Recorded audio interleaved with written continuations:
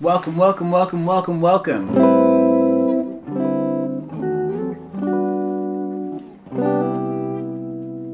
I'm going to teach you how to play that.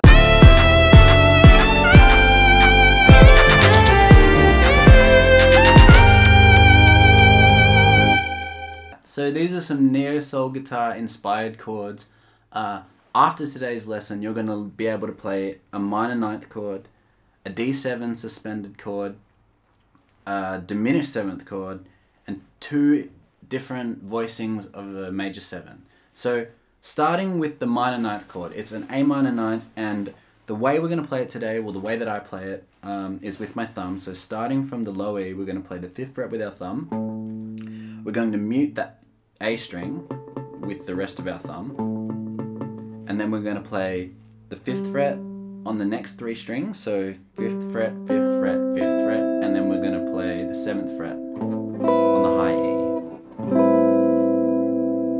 That's a minor ninth chord. You can use any other variation of fingers that uh, makes it more comfortable for you. It's also pretty common to play it with the second finger, um, playing the lower E, and then barring with this finger.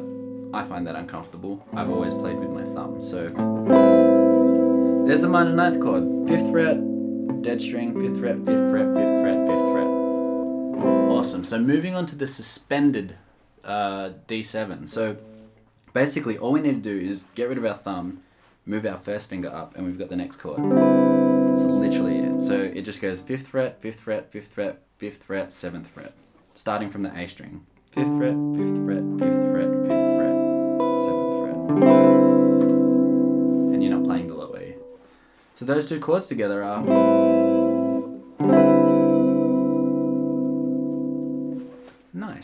So just a whole lot of fifth fret and seventh fret in those first two chords. Now we're going to move on to a chord that's a little more tricky. This is a technically the same chord, but inverted. So what I mean by that, there's two of the same chords. The shape doesn't change. Your hand just moves up three frets. So let's figure out that shape. So starting from the A string, second from the top if you forgot, or bottom, depending on how you want to think about it.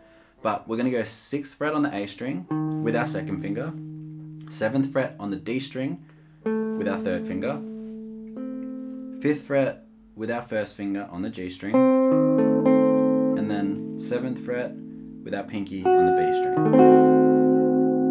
That's the shape of the diminished 7th. So now you just slide that up 3 frets, so to the ninth fret, and that happens on one beat. One, two, three, two, three, four.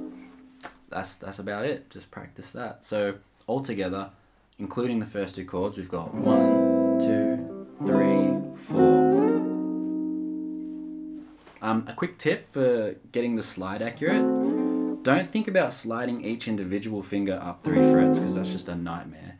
Just get used to the shape and then think about sliding your whole hand. I like to think about the back of the guitar in this instance because it's a lot easier to think about it, slide from here to here than it is from there to there. Mm-hmm. It's a bit of a psychology thing, but just slide your whole arm. Cool. So now we're going to go on to the first major 7 chord, or the first voicing of a major 7, and it's going to be a G. So we're going to start with our pinky on the A string at the 10th fret. And then we're going to play the 9th fret on the next string down with our ring finger, our third finger, and then we're just going to bar the next three strings on the 7th fret with our first finger. And there you go. G major 7. Uh, let's keep moving along after that. So the last chord of the chord progression is a C major 7, which you might already know because it's quite common, but if you don't, here it is anyway. Starting from the A string with our first finger, we're going to play the third fret, and then we're going to play the fifth fret with our ring finger on the next string down, the fourth fret with our second finger on the next string down, and uh, the fifth fret with our pinky on the next string down. Um, you can bar your first finger and play the third fret on the high E. I sometimes do that, sometimes don't, depends. Um, but yeah, that's the whole chord progression. Definitely, if you can't play these chords, it's the first time that you've ever learnt them. Spend a bit of time with each one individually. Um, that one might be tricky for, for depending if you've never done a diminished chord before, but um, yeah, once you start to get them under your finger, then slowly start stringing the chords together. And before you know it, you'll be able to play it. I'll just give you the harmonic rhythm, which is the timing, so I'll count it out loud without a metronome because I'm lazy. But here we go. One, two, three, four. One, two, three, loop one, two, three, four. One, two, three, four. I hope this has been helpful. Uh, enjoy playing some neo soul guitar chords. Uh, it's in the key of G. So your E minor licks will work. um, yeah.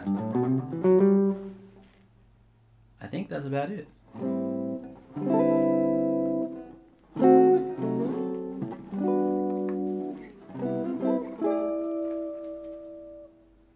Enjoy.